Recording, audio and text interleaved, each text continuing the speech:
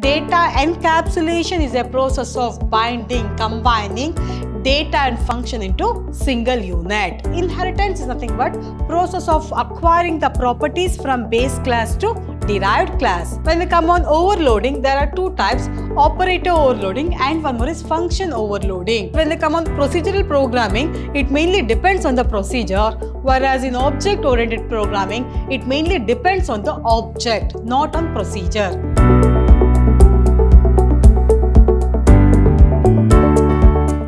Welcome back to one and all.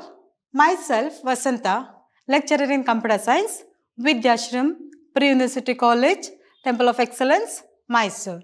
Today, we will start with a revision class on basic concept of OOPs, that is object-oriented programming. In the annual exam, from this chapter, you may expect two questions. One is in part B, one question for two marks and one more is in part D, one question for 5 marks, totally 2 questions, total weightage of this chapter is 7 marks in the annual exam. Whereas 5 marks 1 question as well as 2 marks 1 question you may expect from this chapter. Whereas on this chapter, the major synopsis, which are the characteristics of object-oriented programming, advantages of object-oriented programming, disadvantages of object-oriented programming, as well as the application of OOPs. OOPs is nothing but object-oriented programming. From this, you have to study the characteristics, advantage, disadvantage and application. Application is nothing but where exactly we are using this object-oriented concept. Whereas for 2 marks, you may expect the question like write the fee, write any two features of OOPs or uh, any two advantages of OOPs write any two disadvantage of OOPs or write any two application of OOPs like that you may expect the questions. Whereas briefly discuss classes and object.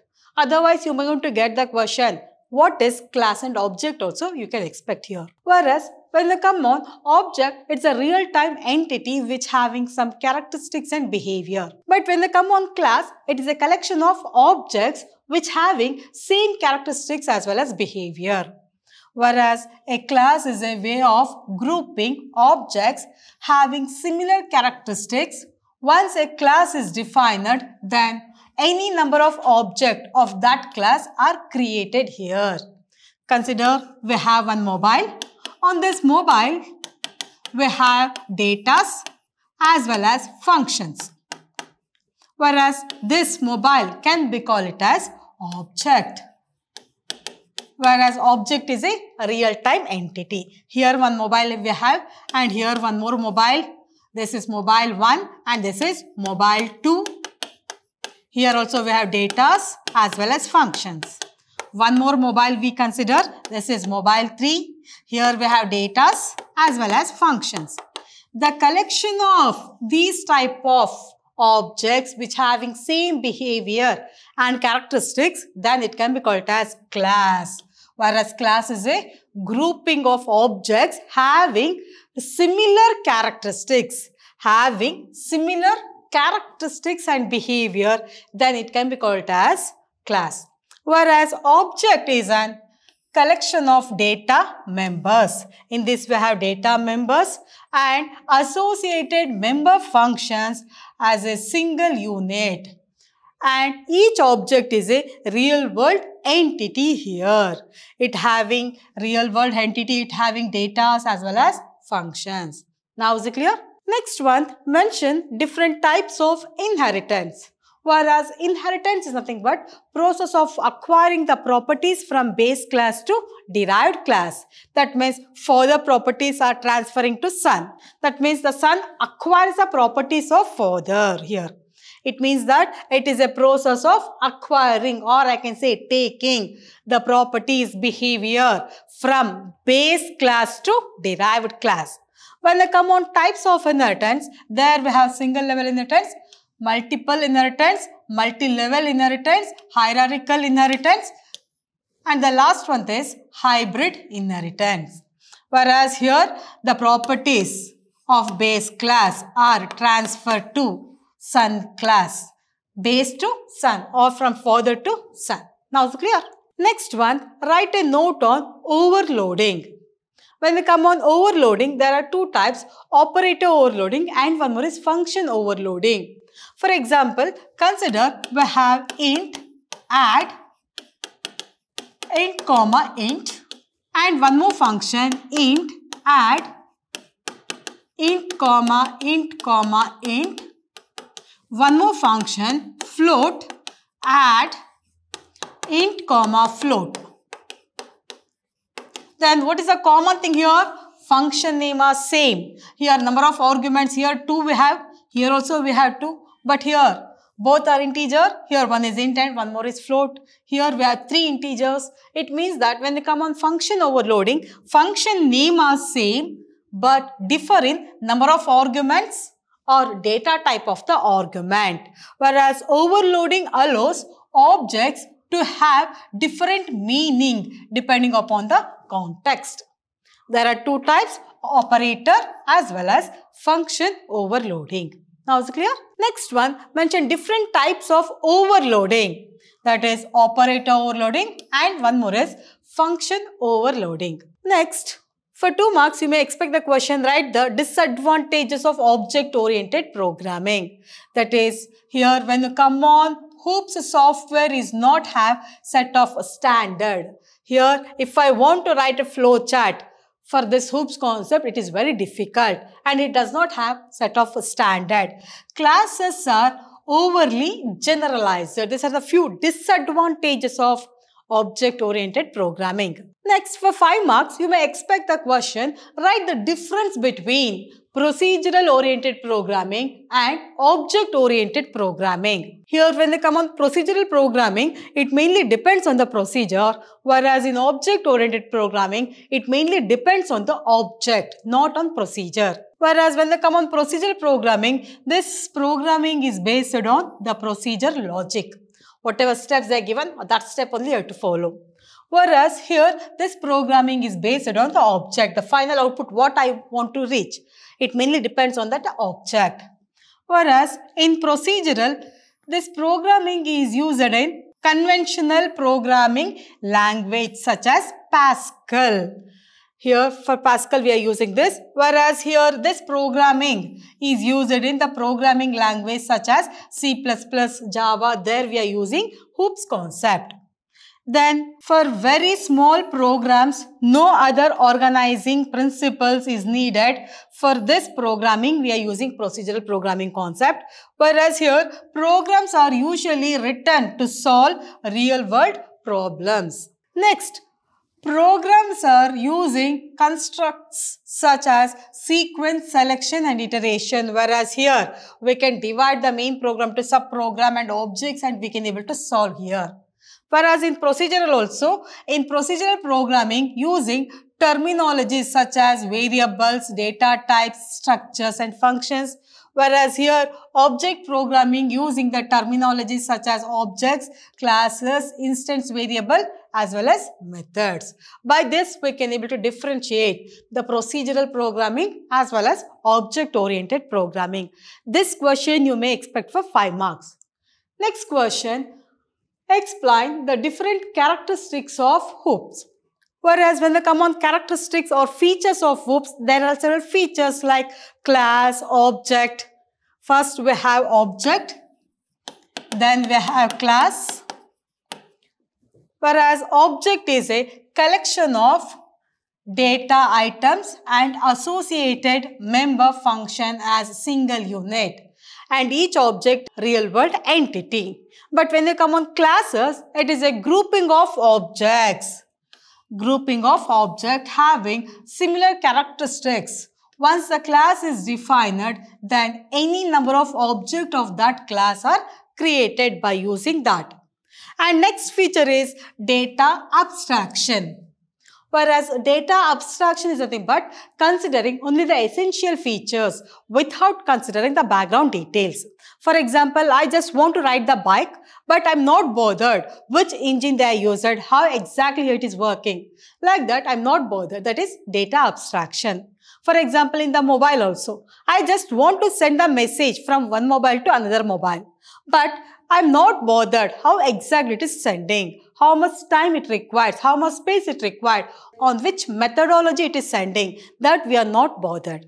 That is, data abstraction is nothing but considering the essential features or we can say representation of essential features of an object without including the background details is called as data abstraction. And the next one is data encapsulation. Whereas data encapsulation is a process of binding, combining data and function into single unit a way of combining data and associated function into a single unit is called as data encapsulation and here it will prevent direct access of data. In the mobile, if I want to send a contact from one mobile to another mobile, then with the help of functions only I can able to send. If data and functions are combined, then only I can able to process. Is it true? That is nothing but data encapsulation. Next one is inheritance. It's a process of acquiring or we can say forming a new class by using existing class. Consider here we have parent class. This parent class inherits the properties to son. It means that son takes the properties of parents. It's a process of forming a new class from an existing class is known as inheritance. When we come on types of inheritance, single inheritance, multiple inheritance, multi-level inheritance, hierarchical inheritance and the last one is hybrid inheritance. These are the few types of inheritance. And the next one is polymorphism. When they come on the next feature under polymorphism is the ability to behave more than one form. That is ability of a function to take multiple form is known as polymorphism. Next, we'll move on. The next one is overloading. Under this, if you write any five features, then that's enough in examination point of view. Because for five marks, you may get this question, write the features of OOPs or characteristics of OOPs. Under overloading, overloading allows objects to have different meaning depending upon the context. There are two types of overloading. One is operator overloading and one more is function overloading. And when they come on the next concept under features that is dynamic binding. When they come on binding, binding is a process of combining two subprogram into one subprogram. That is what binding here. Whereas dynamic binding is a process of connecting one program to another. Dynamic binding means code associated with a procedure call is known at the time of program execution routine. That is nothing but dynamic binding. Message passing. The processing of data in OOPs is carried out by sending messages to an object is called as message passing. From one program to another program, we can able to pass the messages. A message for an object is request for execution of procedure. Next, we'll move on the advantages of object-oriented program. This is also 5 marks question. Because in the beginning itself, I told you from this, you have to study the features, advantage, disadvantages as well as application. Because each concept you may expect for 2 marks as well as 5 marks. Whereas here the programs are modularized based on the principle of classes and object. Here we are using the modularized methodology to solve any problem. Linking code and objects allows related objects to share common code and this reduces code duplication and code reusability. Is also one of the advantages of OOPs and easier to develop complex software. And here creation and implementation of OOPs code is easy and reduces software development time also here. The concept of data abstraction separates object specification and object implementations, whereas external non-member functions cannot access or modify the data due to data encapsulation. These are the few advantages of OOPs. Next, when you come on, write the real life application of OOPs that is object oriented programming. Under that it is used in computer graphic applications. For graphic purpose we are using OOPs concept and it is used in CAD and CAM software. CAD stands for computer aided designing purpose. CAM software means computer aided manufacturing purpose also. We are using OOPs concept. And it is used in object oriented database. Database is a bit collection of related tables. Whereas here this OOPs it is used in object oriented database concept. And also it is user interface design such as Windows. There also we are using OOPs concept as well as it is used in real-time system, then simulation and modeling and artificial intelligence and expert system. These are the areas we are using this OOPs concept. Then on this chapter you have studied regarding majorly the features. Feature is nothing but advantages. Feature characteristics, advantages, then disadvantages as well as application. Whereas when they come on features, you have to explain regarding what do you mean by object, what do you mean by class, data encapsulation, what do you mean by inheritance, types of inheritance, what do you mean by message passing. These are the major concepts that you have to explain.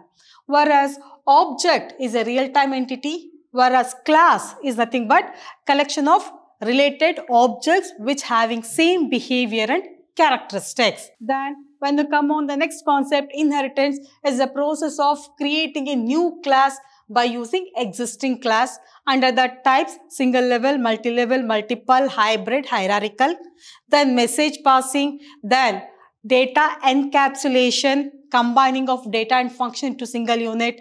Then with that data abstraction, data abstraction is nothing but considering the essential features without considering the background detail, then message passing. These are the few features. Then advantages, modularity, time consumption, all those things you can write. But when they come on disadvantages of OOPs, there, if I want to write a flowchart for this OOPs, then it is very difficult. Then all real world problem cannot be solved. Classes are more generalized. These are the few disadvantages of OOPs. Then with that, you have to remember the application of OOPs. Whereas in the next session, you will come to know regarding the class and object chapter. Under that, you will study what do you mean by class, how to declare a class or how to define an object, how to write data members, member function, the general syntax of class.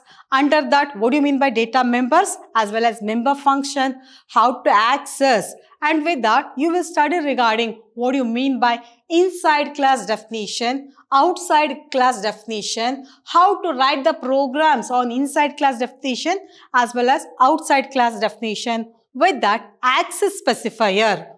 What do you mean by access specifier? Under that, we have three types, private, public, protected. How to write the program by using these access specifiers.